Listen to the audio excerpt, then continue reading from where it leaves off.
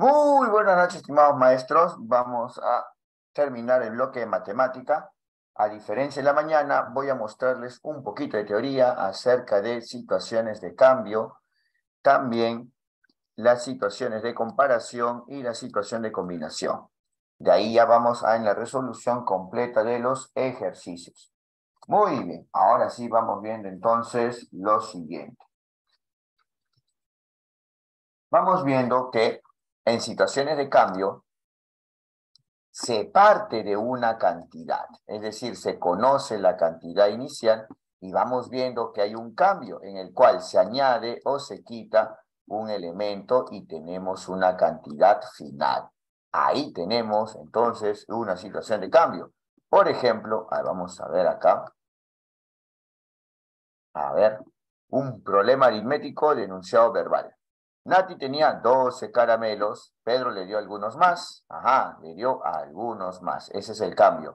Ahora tiene 20 caramelos. ¿Cuántos caramelos le dio Pedro? Tengo 12 caramelos, ese algunos es el cambio. Te regalo algunos, ahora tienes 20. ¿Cuántos te regalaré? Cantidad inicial, cantidad final y acá tenemos el cambio. En este caso le ha, le ha agregado. Pedro tenía nueve lápices, dio algunos a Rosa, ahora tiene seis. ¿Cuántos lápices le dio a Rosa? Tenía nueve lápices y te regalé algunos. Se conoce la cantidad inicial, la cantidad final y no sabemos este algunos. En este caso es quitar. Estos son las situaciones de cambio y es entonces lo que nosotros vamos a visualizar. Muy bien, ahora sí, entonces avanzamos. Entonces, recuerda, tenemos una cantidad inicial, una cantidad final y esto representa el cambio. Se puede agregar o se puede quitar. En situaciones de comparación se van a comparar dos cantidades.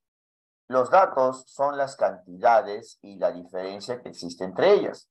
De estas dos cantidades, una es la comparada y la otra es la referencia. Recuerda, una es la comparada y otra es la referencia. La diferencia es la distancia que se establece entre ambas. Un ejemplo, en un problema aritmético de enunciado verbal. Roger tiene 11 nuevos soles. Ajá. Oscar tiene 16. 16 es la comparada y el de referencia es el 11. ¿Cuántos soles tiene Oscar más que Roger? Ajá. Recuerda que para comparación podemos utilizar estos términos, más que, o podemos tener el menos que. En este caso, entonces, sí, estamos viendo la referencia y la comparación. Siguiente caso. Luis tiene dos aviones de papel y José tiene ocho. ¿Cuántos aviones tiene José menos que Luis? Entonces vamos viendo que si Luis tiene dos aviones de papel y José tiene ocho, vamos a comparar con la referencia y luego vamos a ver entonces cuánto es esa comparación, menos que, más que, para situaciones de comparación. Entonces sí, tenemos que entender que tenemos una referencia con lo que se compara y tenemos que calcular la diferencia. Esto es comparación. Ya sabes, expresiones más que, menos que, o mayor que, o menor que, son algunas expresiones comunes para comparación. Vamos viendo ahora cuando se trata de combinación. Se trata de algunas, algunos problemas en los que se plantea combinar dos cantidades, en las cuales se va a diferenciar en alguna característica en las que podemos desconocer una parte o el todo. Ejemplo, Luis tiene seis camioncitos, José ocho trompos. ¿Cuántos juguetes tienen los dos juntos? Ajá, si vamos a combinar dos cantidades, tenemos una categoría que abarca a trompos y que abarca camioncitos. Esta categoría es juguetes. Entonces, mira, parte, parte, todo. En nuestro ejemplito, juguetes es el todo, camioncitos parte, o la cantidad de camioncitos parte, y la cantidad de trompos es una parte. José, yo tengo seis camioncitos y yo tengo ocho trompos. Si los juntamos, ¿cuántos juguetes habrá en total? Entonces, en combinación, habría un término que abarca a los demás, ¿ya? Muy bien. Ahora sí, entonces vamos viendo lo siguiente. Ahora vamos a continuar.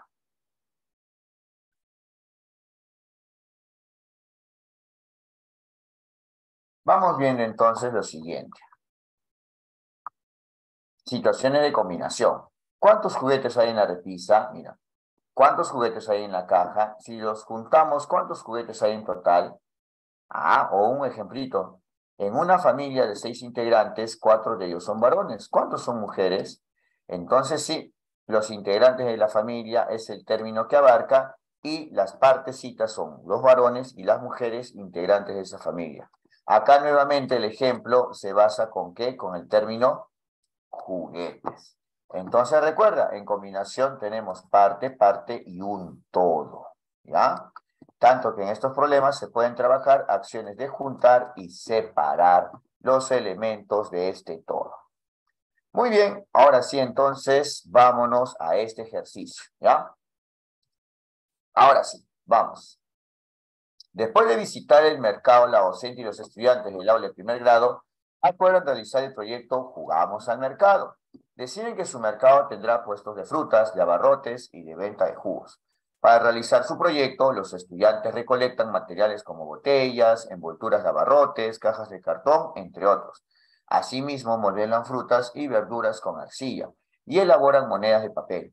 Con todos estos insumos, los estudiantes, organizados en grupos, arman sus puestos de venta. Con el propósito de afianzar en los estudiantes la comprensión del significado de la adición, la docente les pide que escriban en un cartel los precios de los jugos de naranja y de lucma que se venderán en la juguería.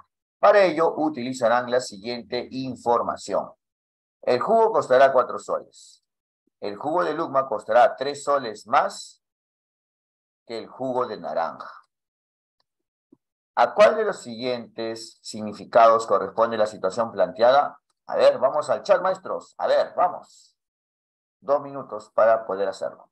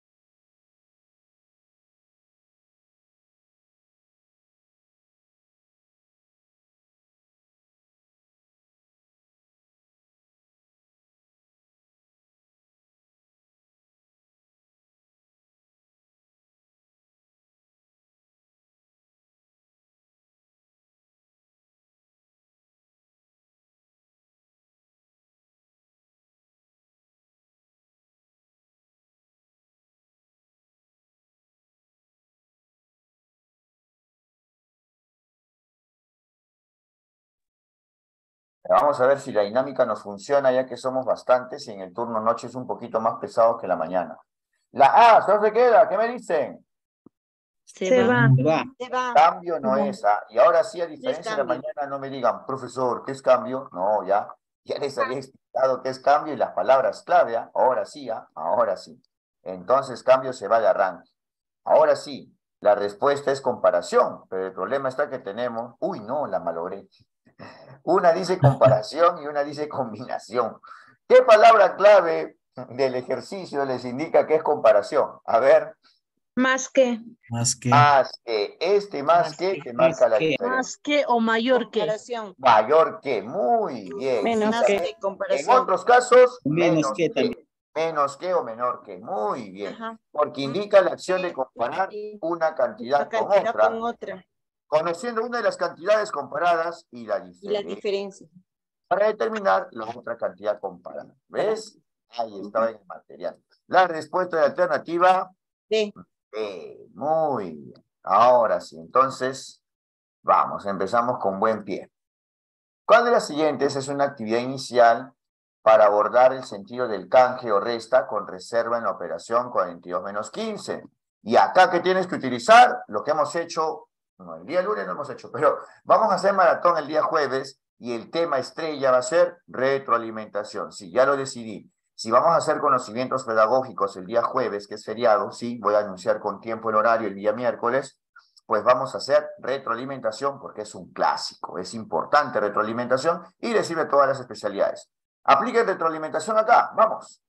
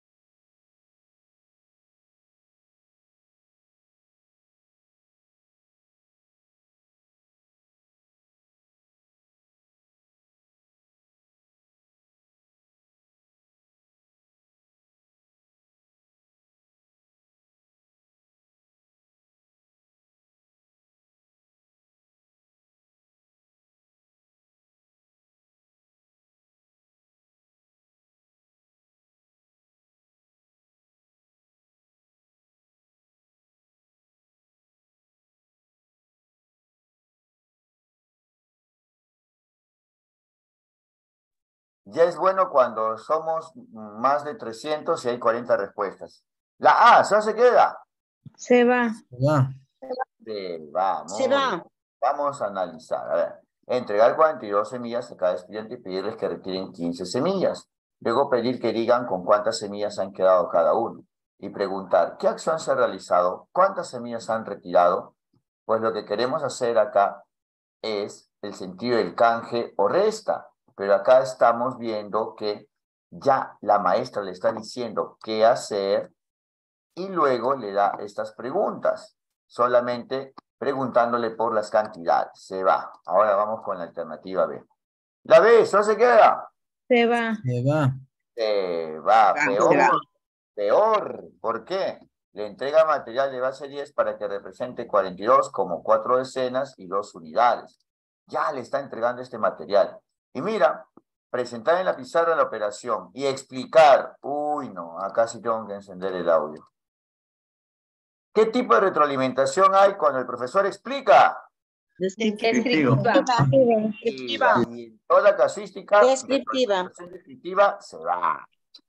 Preguntarle cuál es el resultado. Pero esa pregunta no promueve la reflexión, solamente es que ya haya entendido tu explicación.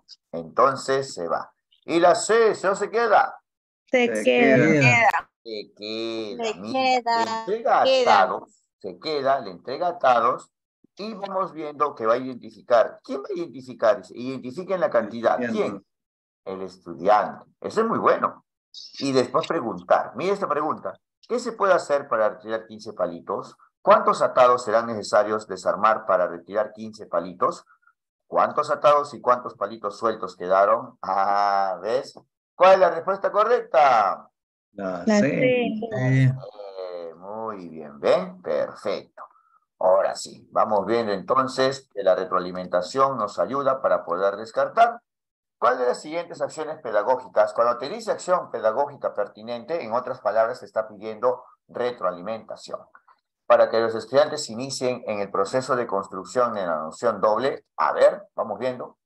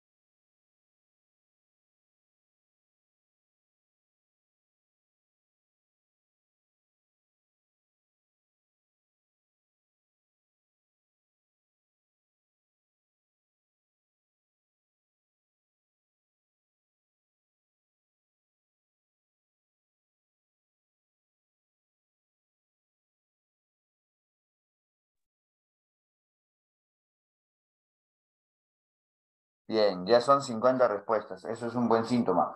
La A, ¿no se queda? Se va. Se va. Se, Se va. va. Pero vamos viendo, mira, interesante, ¿ah? Le pregunta, pero no todas las preguntas promueven reflexión. Si tú quieres que se inicien en el proceso de construcción de la noción de doble, tienes que hacer que él lo descubra. ¿Y sabes cuál es el problema con la A? Le dice de frente, ¿qué entienden por doble? Es una pregunta teórica, no es una pregunta para que ellos lo descubran. Y justo la casística te pide que construyan esa noción. ¿Alguna vez han escuchado esa palabra? El- Ya, acá viene la parte bonita, ¿no? Para que lo descubra supuestamente. Pero ya le dijiste ya en esa pregunta qué entienden por doble. Sí, te digo que la A en la última parte está bien, pero la primera está mal, ¿ya? La B, ¿se va o se queda? Se va. Ah, se Se va. Ana Se tiene va. años y Pedro tiene el doble de años. Uy, ¿qué palabra utilizó? Doble. ¿Qué pregunta es esta? Es una pregunta disimulada. Lo hemos hecho el lunes, ¿ah? Ojo, lo hemos hecho el lunes y lo vamos a volver a repetir cuando sea el repaso para ascenso. Escúchenme, cuando ya le dices el nombre, el término doble, ya le estás diciendo qué concepto. Es como en la alternativa A, le preguntas, ¿qué entienden por doble? Ahora sí. Uy, señalar que el doble de un número significa multiplicar Señalar. por dos. ¿Qué tipo de retroalimentación es? Descriptiva. Descriptiva. Descriptiva. Ahora sí, ya está confirmado. La B se va. Por más que lo quiera adornar y mejorar con las preguntas al final, ¿sí o no? Pero incluso las preguntas al final, ¿qué problema tienen? Doble, doble, doble. Por esa parte, porque quieres que lo construyas, no que tú le digas el significado. La C, ¿se se queda? Se Se queda. Queda. En la camisa hay tres botones. Qué bonito. ¿Cuántos botones habrá en total en las dos mangas? Ah, descubrir. ¿Y mediante qué? Mediante Preguntas. La clásica de retroalimentación reflexiva o por descubrimiento es preguntas. Pero preguntas que promuevan la reflexión, no que le dan el concepto de forma disimulada. Y de nuevo, mira, ahora te pregunta, esta vez en cada manga tiene cinco botones y preguntas. ¿Cuántas veces consideran la cantidad de botones de una manga para saber el total de botones en las mangas de la camisa? Ya, pues, ¿cuál es la respuesta? ¿La alternativa? C. C de casa. C, ¿ven? Retroalimentación es la bolsa. Retroalimentación. Muy bien, ahora sí.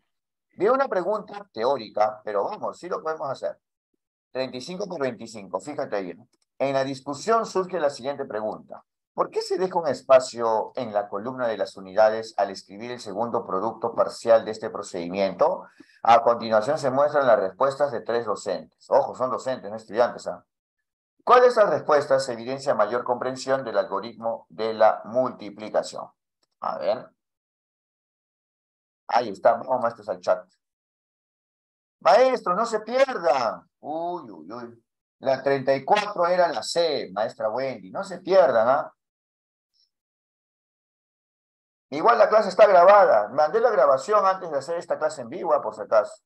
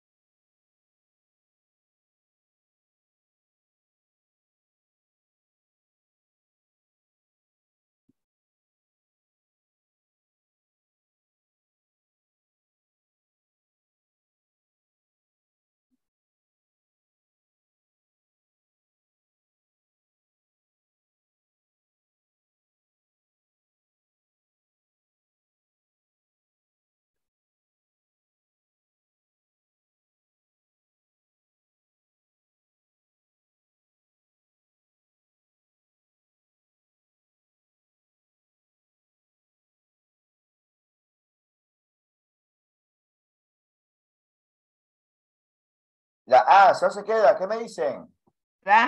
Se va. Porque se está multiplicando por dos y Se se, va. tiene que alinear el resultado. Se va, se va. Alinear el resultado ordenadamente. ¡No! La B, eso se queda. Se queda. Se queda. Se queda. El 25, el 2 corresponde a las decenas. Y por ello, multiplicar por 2, el resultado está en decenas. Ah, está mejor. La C, eso se queda. Se va. Se va. La matemática, ¿por qué? Se permite efectuar la operación correctamente. Qué buena justificación. De lo contrario, se obtendría un resultado equivocado. Y la explicación es que ese 2 corresponde a las decenas. Por eso, la respuesta es la alternativa mm, B. B. Listo. A ver, vamos viendo. A ver. Recuerden, maestros. Ah, ya, una consulta. ¿Se han dado cuenta que muchos ejercicios de matemática es muy similar a lo que se hace en razonamiento lógico? ¿Me permiten enviar el drive de razonamiento lógico ahora al grupo de primaria para que puedan practicar también? ¿Sí? ¿Los maestros? Sí, Envío, ¿no? profesor, sí. Listo, envío ahorita Sí, la por favor, profesor. por favor. No, no se diga más. No más. Lo comparto ahorita en el grupo, mientras van haciendo la 41.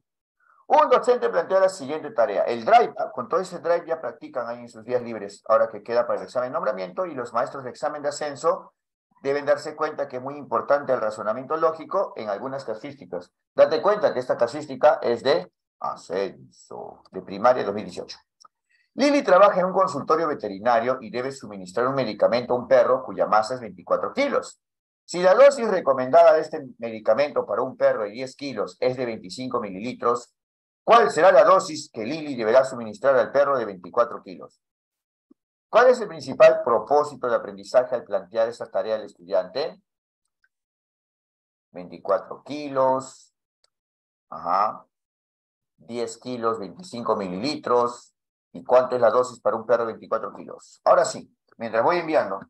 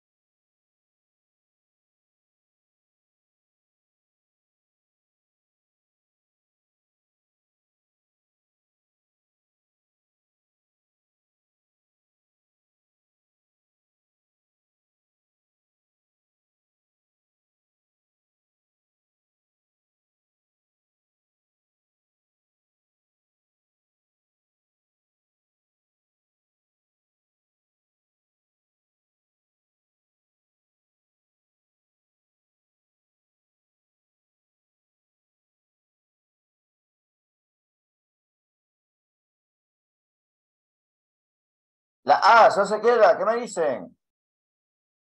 Se queda. Queda. La relación de proporcionalidad Se queda. Ah, se queda. son proporciones. Uy, tengo que retroalimentar bastante, ¿ah? Uy, hay, hay respuestas que están mal. Ya. La B, eso se queda. Se va. Se va. Ya, escúchame, porque ese va. va. escúchame, hay maestros que han marcado la B. la B. Pero Va. escúchenme. Se va. Ah, ya, a ver, pausa.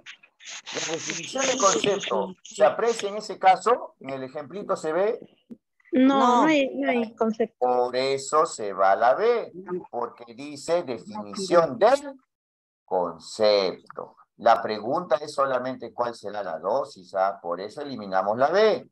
Esto va con, mucho, con mucha dedicación para los maestros que han marcado la B. Es que quiero retroalimentar bien, por eso, ¿ya? Ahora, hay muchos maestros que me han marcado la C. Ahora te- les pregunto, en el caso y en la pregunta específica, ¿cuál será la dosis que Lili deberá suministrar? ¿Se pide que justifiquen su procedimiento de solución? No, No. no, Por eso se va a la no, porque no hay un resultado. Claro, solamente te pide acá que establezca la cantidad. Y para establecer esa cantidad tienen que pues tener relaciones de proporcionalidad. ¿Por qué algunos maestros marcaron la C? Ah, Voy a intentar deducir. Porque dice el término problemas o resolver problemas de proporcionalidad que involucran magnitudes. Yo creo que esta partecita puede haber engañado. Pero ¿qué hace que se elimine la C? Dice, justifiquen su procedimiento de solución. Mientras que en la A dice que establezcan las relaciones de proporcionalidad. ¿Cuál es entonces el principal propósito? Solamente al mencionar esta tarea. ¿Cuál sería la respuesta? Ah, Ya establezca relaciones. ¿Quedó claro? Es que yo no quiero que haya dudas, pues. La idea es que todo quede clarito, porque hay maestros que han marcado las- Ujú. ¿Sí? ¿Quedó claro? Sí, profesor. Ya. no Eso, fíjense las frases clave. A veces el- pasamos por alto y ahí tenemos un problema. Por eso yo me tomo mi tiempo, yo les doy dos minutos para que piensen, ¿ah? no les estoy apurando, ¿ya? Bueno, maestros, fíjense siempre las palabras clave, las palabras clave son lo más importante. Una palabra, una frase lo cambian todo, ¿ya? Un docente plantea la siguiente situación a sus estudiantes. Vamos a recortar esto para que nos alcance la vista, ¿ya? Muy bien. Rolando piensa comprar un departamento, por ello ha decidido visitar diversas empresas que venden departamentos. En una de ellas te muestran el siguiente plano. Ahí está, ¿ves? Habitación, habitación, cocina y sala. Cocina 2 centímetros, habitación 2 centímetros, sala 3. El lado de la sala, a ver, quiero recortar un poquito más, maestro, para que tengan buena vista. Ya está. El lado de la sala mide 3 centímetros. En realidad mide 300 centímetros. Si el lado de la cocina mide 2 centímetros, ¿cuánto medirá en realidad? A continuación se presenta la resolución de los estudiantes, o de uno de los estudiantes. Un ratito voy a cerrar la ventana porque están los perros están ladrando. Al termino de leer. 3 centímetros más 297 centímetros, igual 300. 2 centímetros más 297 centímetros, igual 299 centímetros. Si la medida real del lado de la sala es 300 centímetros, entonces ha aumentado 297 centímetros en la medida en el plano, a la medida en el plano. Por tanto, para encontrar la medida real del lado de la cocina se debe aumentar 297 a la medida en el plano. Es decir, la medida real del lado de la cocina será 299. Bueno, ahí está verbalizado lo que he escrito. ¿Cuál de las siguientes alternativas expresa el principal error en la resolución del estudiante? Bien, vamos maestros, ahora sí. Sus dos minutitos reglamentarios, ¿ya? Vamos.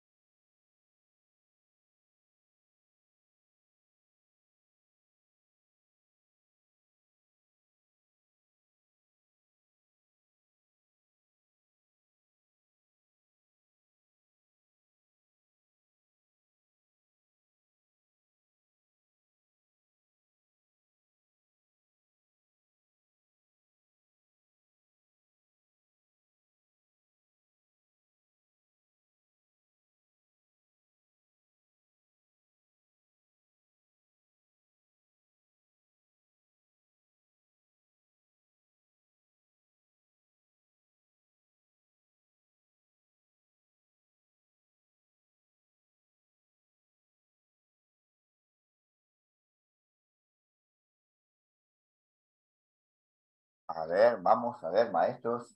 tenemos menos cantidad de respuestas, ¿ah? O sea que eso quiere decir que este ejercicio está más difícil. Wow. Yo lo considero que no está tan difícil, ¿ah? Con las palabras clave está un poco más fácil, ¿ah? Aparte que las alternativas son cortas. Vamos a encender el audio. Ahí está encendido. La A, ¿dónde se queda? Se va. Se va. Utiliza una unidad de medida de longitud incorrecta. No, ahí tenemos un problema, está sumando. La no es. La B, ¿dónde se queda? Queda. Establece una relación aditiva en vez de establecer una relación multiplicativa. Era 3 por 100 y era 2 por 100, ¿no? Eso era. La C, ¿se se queda? Se va. Emplear una estrategia diferente, la regla de tres simple, que le permite resolver, involucra que, no, resolver un problema que involucra proporcionalidad. No, empleó adición en vez de multiplicación. La respuesta era la alternativa B. B. Tenía que multiplicar, debía multiplicar. Uy, demanda cognitiva. Ya, vamos a ser sinceros. ¿Les hago cuatro minutos de teoría de demanda cognitiva? ¿Sí o no? No. Sí, por favor, maestro. Váyate, yo soy rápido y furioso. Yo soy veloz. Yo no soy muy teórico. Yo soy práctico. Ya, muy bien. Esto, esta diapositiva la hemos enviado el día lunes. Es nuestra diapositiva veloz. ¿Ya? Veloz, vamos a ver. Un ratito. Te encontré. Demanda cognitiva. ¿Cuándo una tarea es de alta demanda cognitiva y cuándo es de baja? Es de baja demanda cognitiva. Ojo, tres minutos, no miren, todo mi tiempo. Una tarea es de baja demanda cognitiva cuando los procedimientos son conocidos, porque es algo mecánico. Es fácil. Y una tarea es de alta demanda cognitiva cuando los procedimientos son desconocidos. Conocidos, desconocidos. Tareas que te indican tareas de baja demanda cognitiva, que solamente recuerde o reconozca. Por ejemplo, identificar, reconocer, indicar, extraer información o que coloque el nombre son tareas de baja demanda cognitiva. Pero dentro de las tareas de baja cognitiva, baja demanda, hay también tareas que son un poco más, un poco más difíciles, pero que siguen siendo de baja demanda cognitiva. Por ejemplo, cuando hace procedimientos sin conexiones o comprensión al concepto.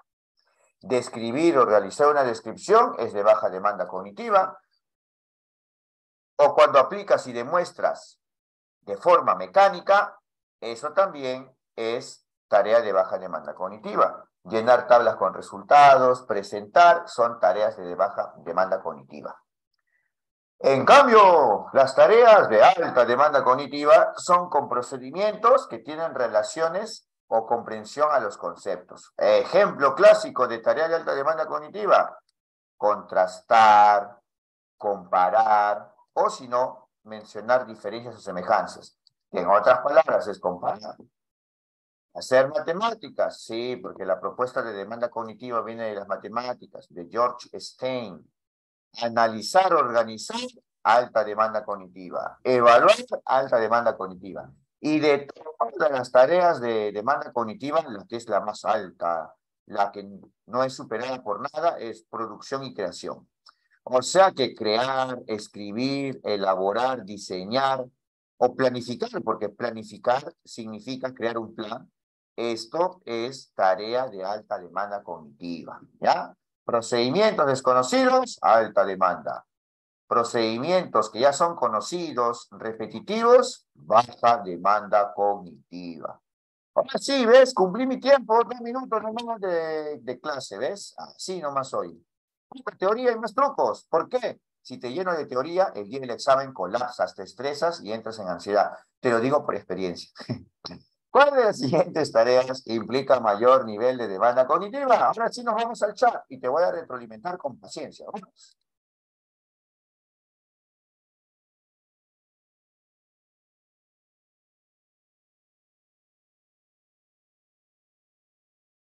Para los maestros que piensan que esto es una repetición grabada de la mañana, en la mañana no hicimos, no hicimos teoría ni de matemática ni de demanda cognitiva. Esa es la diferencia. En las noches la clase es en vivo.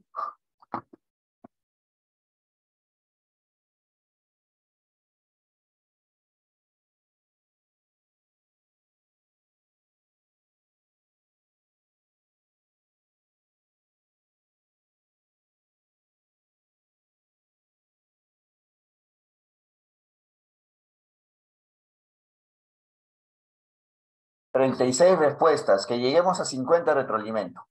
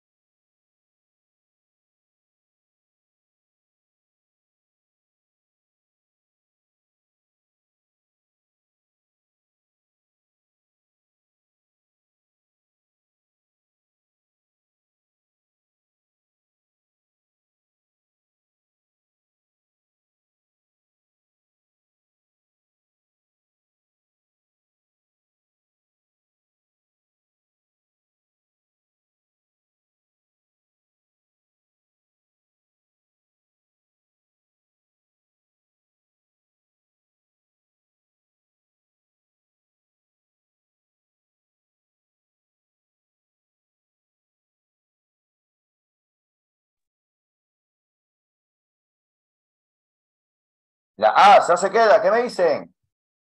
Se va. Se va, profesor. Se va. Colocar el nombre es reconocer. Eso al ojo es de baja demanda cognitiva.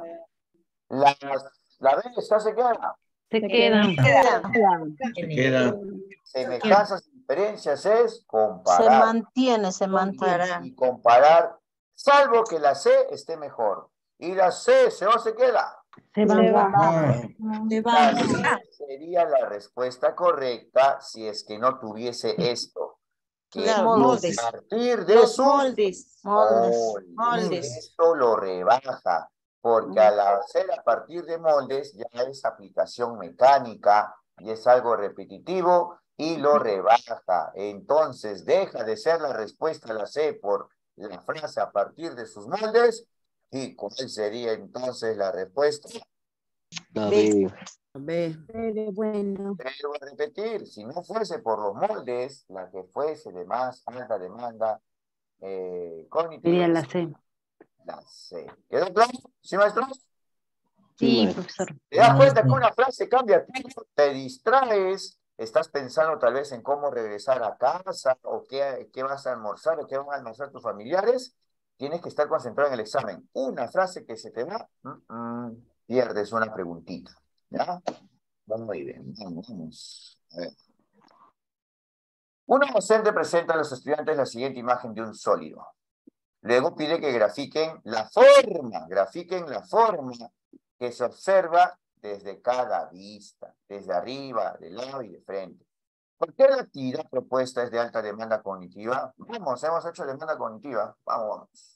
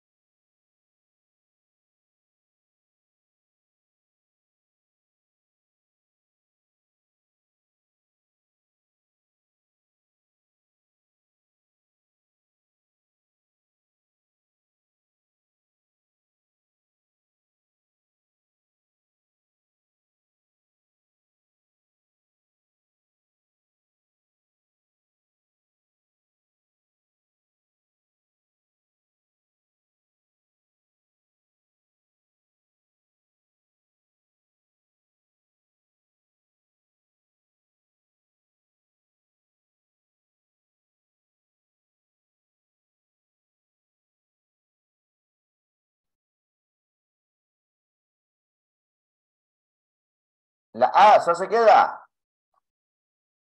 Se va. Se va. Despliega las habilidades va. motrices finas. Pero tendrá que ver con eh, justamente esta parte de la demanda cognitiva y alta todavía. Y No.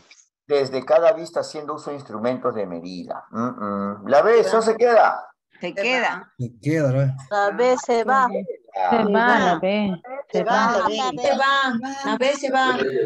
Se va. Ya comenzó el debate, ya mejor vamos a aclarar acá. Porque implica que el estudiante haga uso de habilidades para observar formas tridimensionales, como, como cubos, que suponen un mayor nivel de complejidad y no solo formas bidimensionales. ¿Y en qué parte de la teoría de alta o baja demanda cognitiva te dice que por el simple hecho de ser tridimensional es de mayor complejidad de, que es de bidimensional? ¿Hay alguna palabra clave o algo acá en esta pregunta que por si acaso es corta? ¿Hay alguna palabra clave que te indique que es de alta demanda cognitiva? No sé, pero digo, comparar o, o crear solamente porque ves tridimensional y que supones que es de mayor nivel de complejidad, Mm, mm, no hay ningún indicador en eso, ah, por si acaso. ah. Vamos a ver la C, vamos a ver la C. Porque implica que el estudiante emplea habilidades de visualización para realizar una representación mental del sólido. Ah, va a tener que realizarlo ahí, mira, mentalmente. Y luego va a graficar las formas que se obtienen de cada vista. O sea que sí, emplea sus habilidades de visualización y va a tener que representar mentalmente. Acá se supone que es de mayor nivel de complejidad, pero no hay ningún indicador ahí. Entonces, ¿dónde se evidencia una tarea de alta demanda cognitiva? En la C. En la C. En la C, Eh, profesor. aparte, solamente se sí. habla acá de En la C. Ojo, en la B solamente sale observación. En cambio, acá es representación mental y encima Del un plus- sólido. Un plus, un extra es que va a graficarlo. Ah, es que les confundió la parte de mental, ¿no? Ya, pero es la representación mental. Es bueno, pero se lo está imaginando. ¿Cuál es la respuesta entonces? La C. Sí. Sí. Procedimientos Una palabra, desconocidos. Dos palabras. Por eso es importante la parte teórica, pues. Y me dijeron, no, demanda cognitiva, no. Pero yo ya sabía que sí, ya. En la mañana, por lo menos, los maestros son muy empáticos, ¿no? Con el tiempo.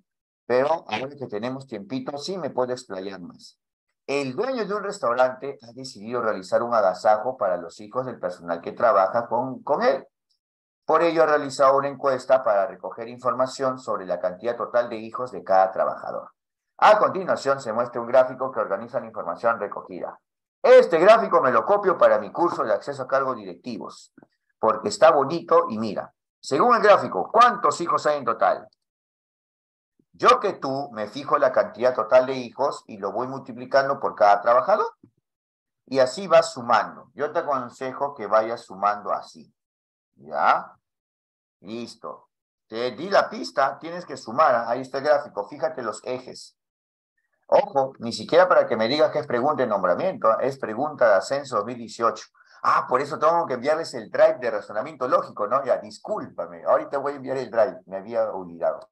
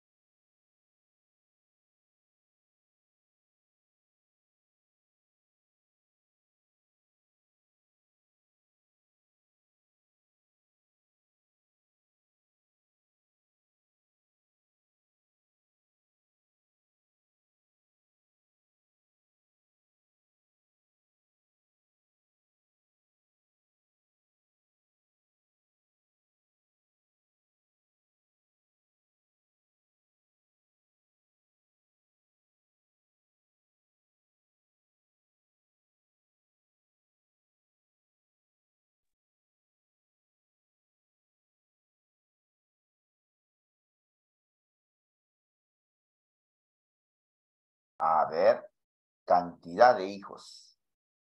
Bueno, lo más correcto sería acá que lo hagamos por la cantidad de trabajadores que va apareciendo, ¿ya? Por cada gráfico. Mm, si cuatro trabajadores no tienen ningún hijo, ¿cuál será la cantidad?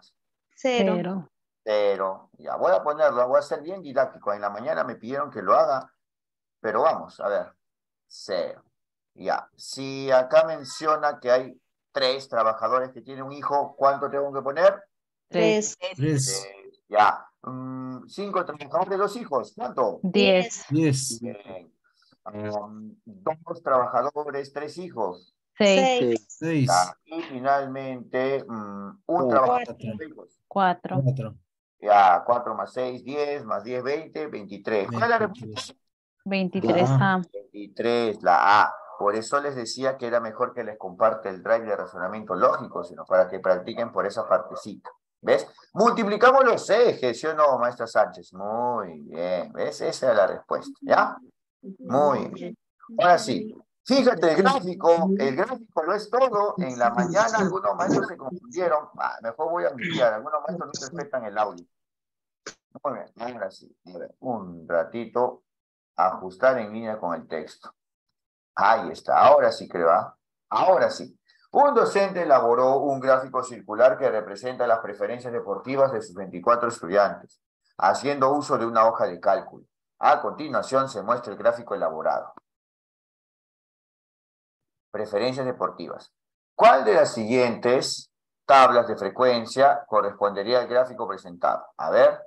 Voy a tener que reducir la vista, maestros, porque el ejercicio demanda tablas. Así que con el dolor de mi corazón, voy a tener que mostrar, ay, así, chiquitito nomás. ¿Ya? Vamos, está entre la página 21. Sí, página 21, 22 está, ¿ya? Vamos, maestro, les voy a dar sus dos minutos y medio.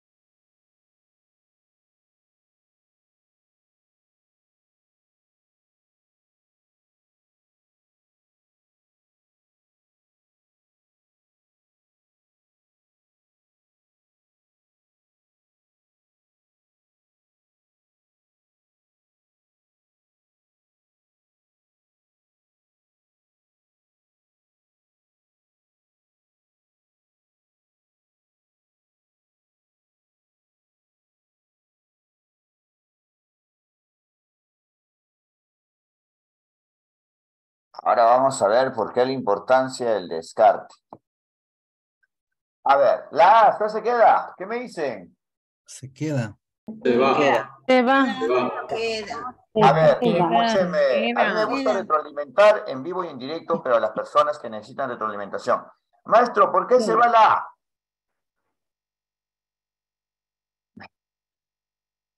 Se queda. Se queda, se No, queda. pues, así no, soy, así no soy yo. Hay que Se retroalimentar. queda. Se queda, se queda la Pero no, pues, no me están dando la oportunidad que retroalimente al que dijo que se va, pues. Ya. Claro. Maestro, maestro, se va porque si usted este, en el gráfico lo divide por la mitad, da 12 para arriba y 12 para abajo. Tú eliminas la, ¿no? La A, sí, la A se va, la, la B es la respuesta. Ya, muy bien, maestro. ¿Tú qué me dices la B? Escúchame. En la B dice que fútbol tiene el doble de volei. ¿Se condice con el gráfico? No, no, no, no. Proporcionalmente pues, no no seamos así. Hay que retroalimentar bien. No. Maestro, dime, tú que, marca, tú que dices que se va la- en el gráfico, eh, dice 12 fútbol, 6 goles. ¿Se condice con el gráfico o no? Maestro Jiménez. Ya. Perdón. está muy Acá, lejos. fíjate, en la B, maestro, pues, por No, favor. un poquito más grande ver. está. Maestro. Jiménez, eh, en la B dice que 12 fútbol, 6 volei. Dime, ¿tiene correspondencia con el gráfico?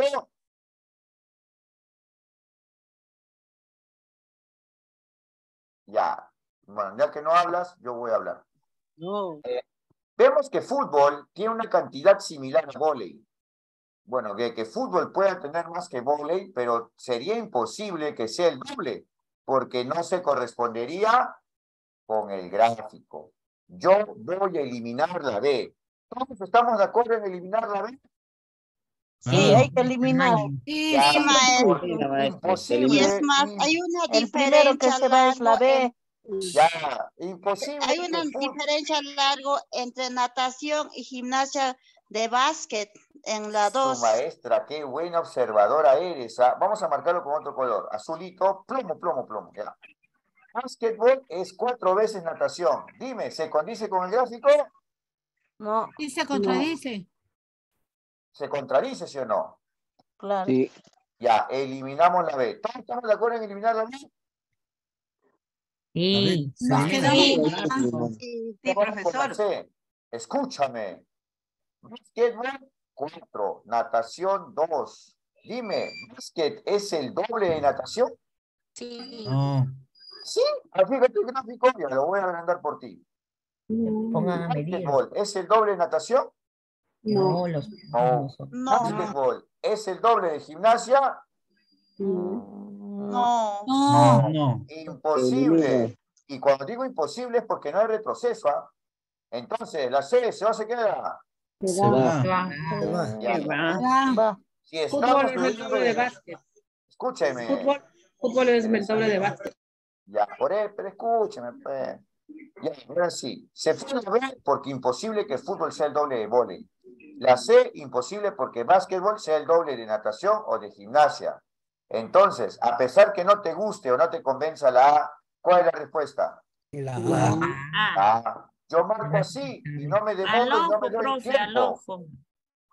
Ojo, no, maestra, yo tenía que estar descartando, ¿ah? Yo también me pongo en su lugar. Maestro J, maestra JS o maestro JS, levantó la mano, le escucho.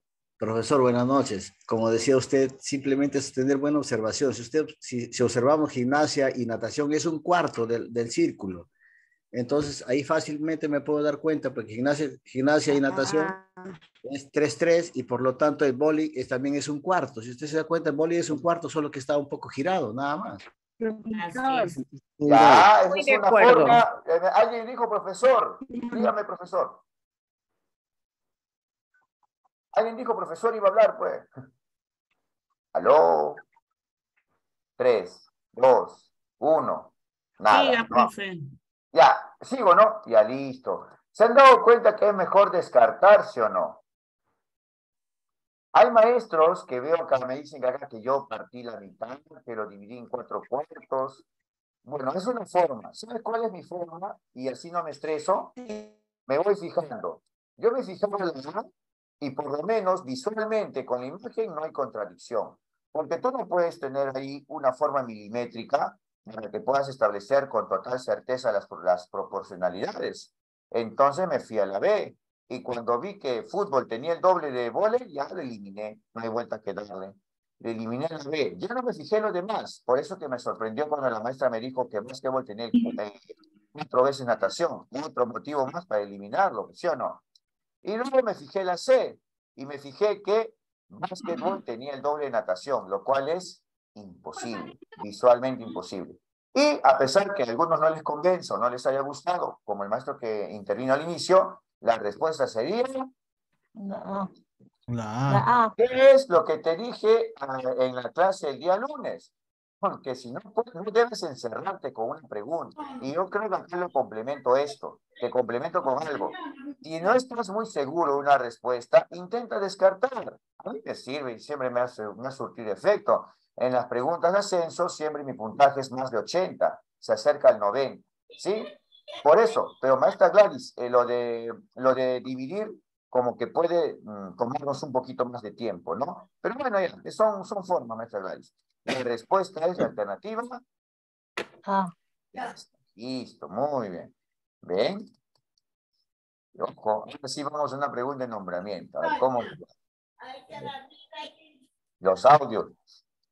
Una docente tiene como propósito que sus estudiantes representen números naturales haciendo uso del material base 10. Una de las actividades propuestas consiste en que los estudiantes representen el número 42 con este material. Al desplazarse por el aula monitoreando el trabajo, ella observa que la mayoría de los estudiantes ha representado el número 42 utilizando seis piezas del material, cuatro barras para las decenas y dos cubitos para las unidades. ¿Cuál de las siguientes acciones pedagógicas es pertinente para que estos estudiantes realicen representaciones equivalentes a la mencionada anteriormente? A ver.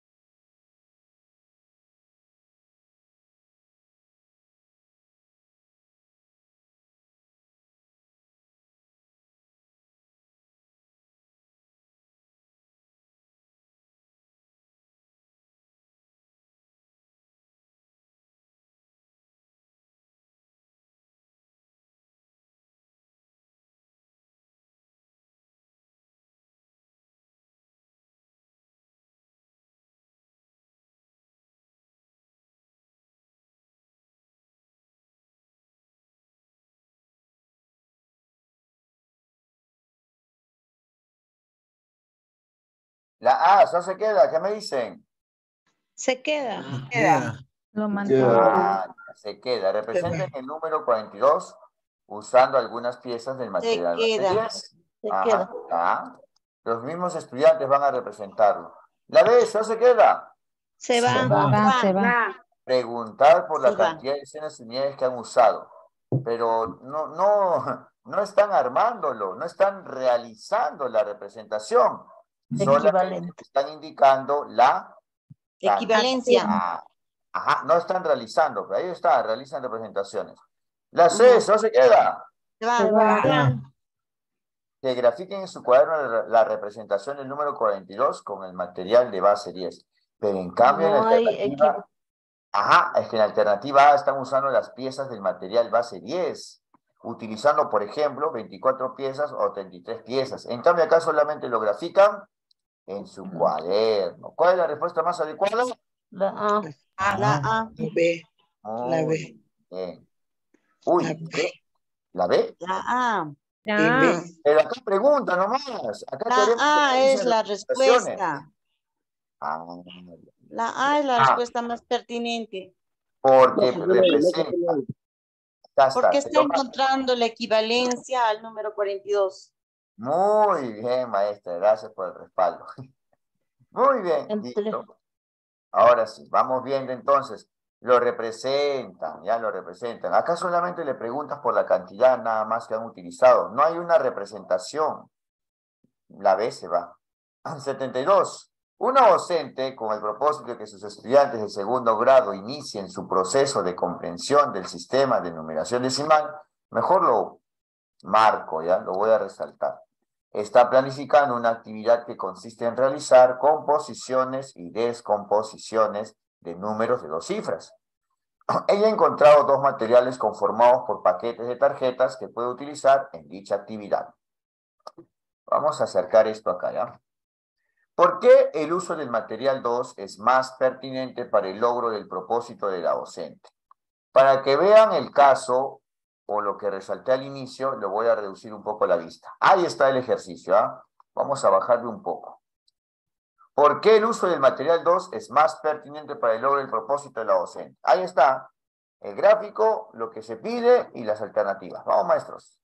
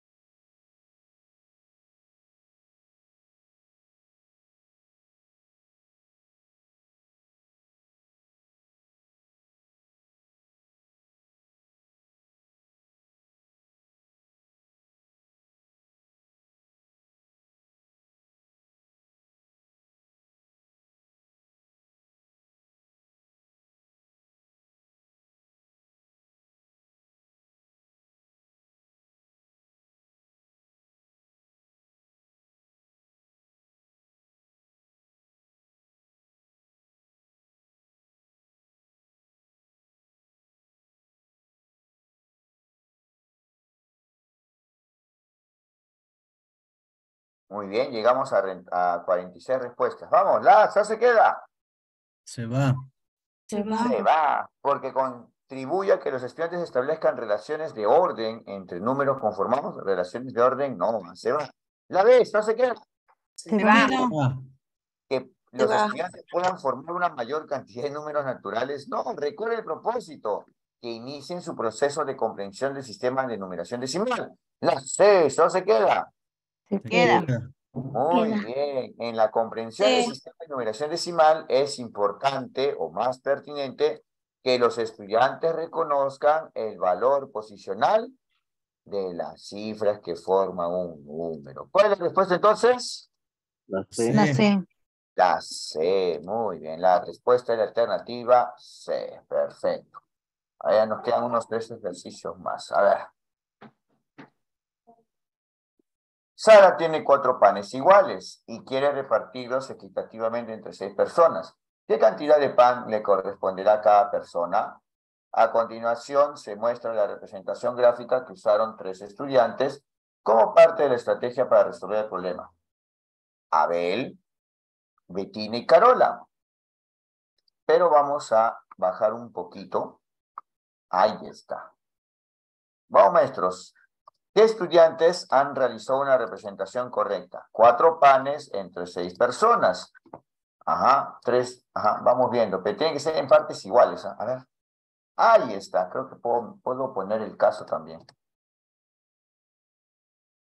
Bueno, no se puede ver. Son cuatro panes entre seis personas equitativamente. Vamos, maestros.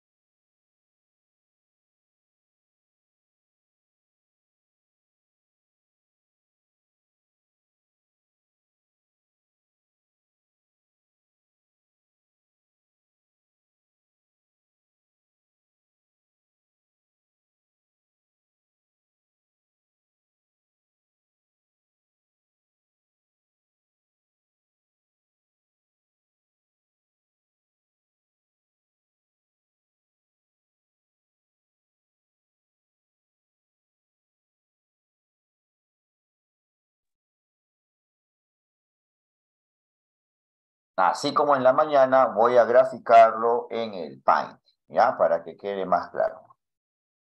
A ver, y ahí me van a decir quién está bien, quién está mal. A ver, un ratito voy a poner el grosor acá al lápiz y rojito. Ahora sí, vamos. Ya tienen audio. Dime, a ver, ¿está bien o está mal? Está bien. Está bien. Está bien, a ver. Está bien, porque toditos, mira, estoy marcando la A, tiene partes iguales. Y si quieres, lo voy a, lo voy a contrastar con la D, por ejemplo. Mira, si tú comparas a los de la A con la D, tienen partes iguales.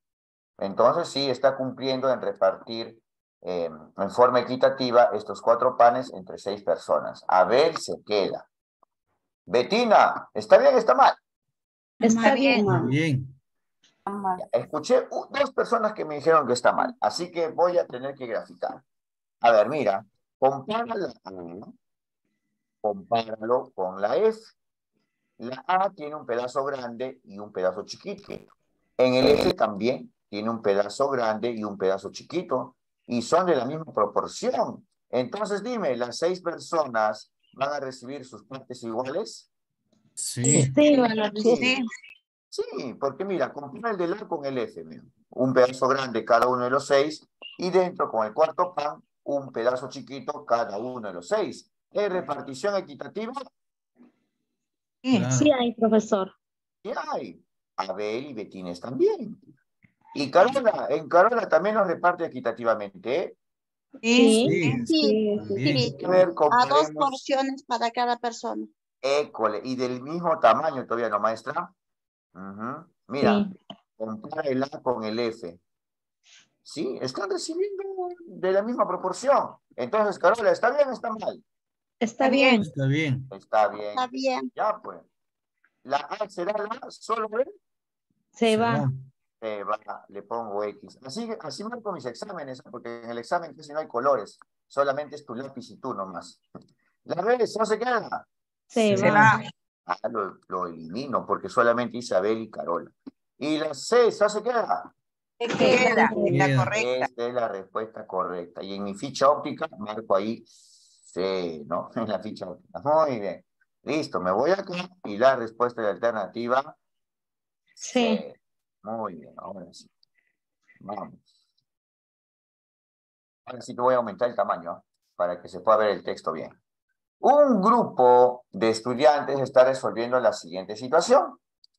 Diego y Hugo compraron un chocolate cada uno, de la misma marca y tamaño. Diego comió tres quintos de su chocolate y Hugo comió cinco sextos del suyo. Atención con este dato. ¿Quién comió más chocolate? Varios de los estudiantes afirmaron que Hugo comió más, porque cinco sextos de un chocolate es mayor que tres quintos del mismo chocolate. La docente, con el fin de identificar la estrategia utilizada por los estudiantes para obtener dicha respuesta, preguntó, ¿cómo llegaron a esa respuesta? A continuación se muestran las explicaciones de tres estudiantes. ¿En cuál de estas se utilizó una estrategia correcta? A ver, ojo.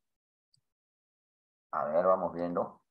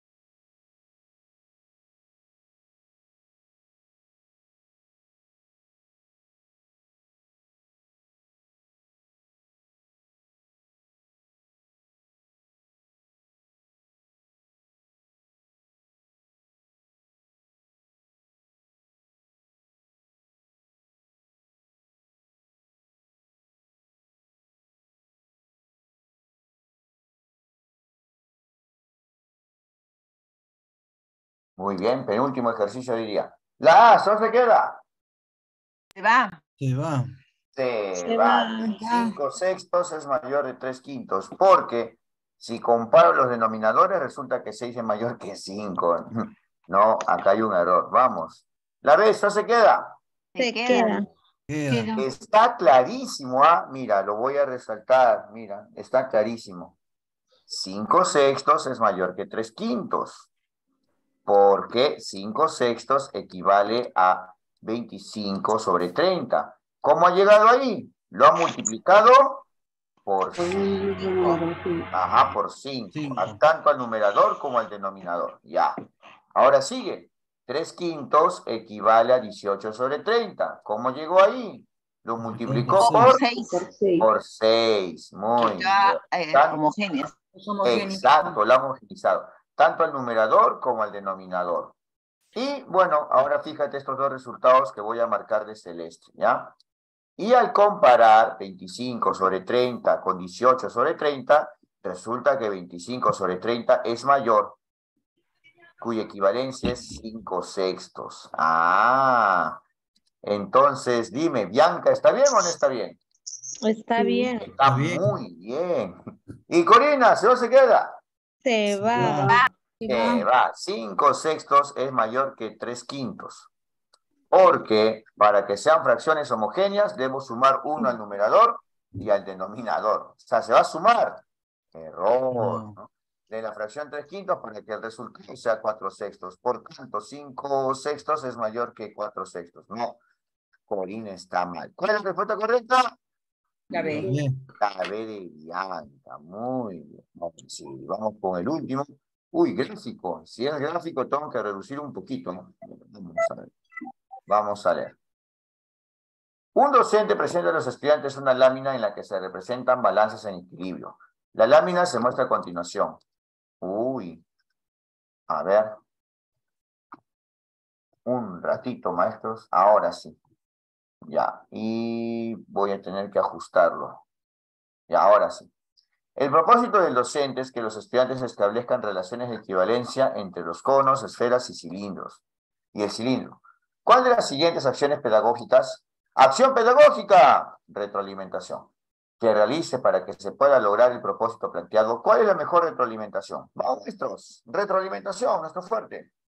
Con esto terminamos y el día jueves hacemos maratón, ¿ya? El día miércoles en la noche eh, o en la tardecita aviso qué hora es eh, las maratones y para cada especialidad, ¿ya? Muy bien, a ver.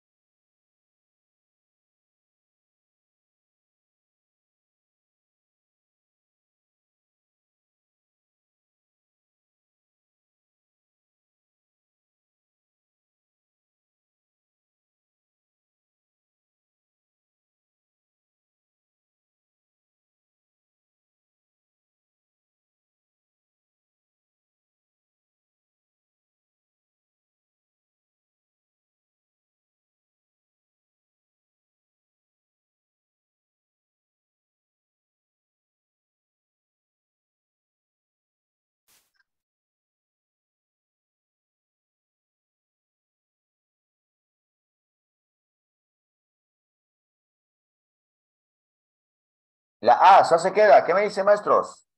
Se va. Se va. Se va, Se profesor. va. Dice Se que cuenten los conos que están en la balanza 1 y así como los otros, los van a contar. Y solamente te- se, se centra en qué? En contar y en saber cuál está en mayor cantidad y en menor cantidad. Dime, ¿con eso van a establecer relaciones de equivalencia? No, no. No, se va la... ¿La ves? ¿No se queda? Se Se va va. también. Se va. Porque le eh, presenta la regla de tres simple. ¿Qué tipo de retroalimentación es? Si le presenta... Descriptiva. Descriptiva. Descriptiva. y dice que grafiquen reemplazando, pero ya hubo retroalimentación descriptiva. Se va la B, la C, ¿eso se queda? Queda. Queda. Reflexivas. Una consulta. ¿Quién va a identificar la cantidad de conos? Los alumnos. estudiantes. niños, Los estudiantes, bien. Y lo rematamos con una Una pregunta. ¿Cuántos conos pesarán lo mismo que un cilindro? Y ahí sí se ve la equivalencia. Y con las preguntas. Ahí ¿qué está haciendo la acción de reflexión. Reflexión, muy bien, maestro, ya estamos ya. El día jueves separen su tiempo, voy a avisar el día miércoles en la tardecita, voy a avisar bien los tiempos. Vamos a hacer maratones el día jueves, aprovechando que es feriado. ¿Ya, maestros? Mando la grabación en la nochecita, tanto de la mañana como lo de ayer, ¿ya? Ahora sí no voy a dormir. Nos vemos luego, maestros. Mañana tenemos Gracias, profesor. Gracias. Gracias, profesor. Es una clase. Gracias. Nos vemos, nos vemos. Gracias, profesor. Hasta Nos vemos, hasta mañana, Baranchitama. Nos vemos, nos vemos. Chau, chau.